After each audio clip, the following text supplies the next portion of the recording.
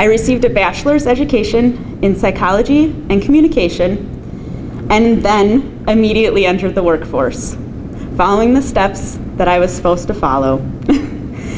um, after six years of working as a board certified podorthist, I knew something was missing. I was not feeling challenged.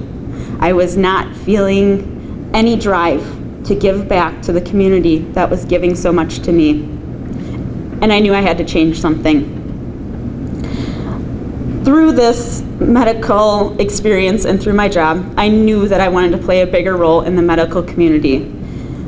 NTC has provided me with those stepping stones and those opportunities to get me to a place where I can make a difference in my community and I can give back. And I'm excited to give back, which is so great to me because that's exactly what I was missing.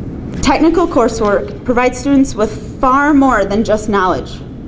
It gives them the tools to apply that knowledge and, like I have said, make a difference in the community.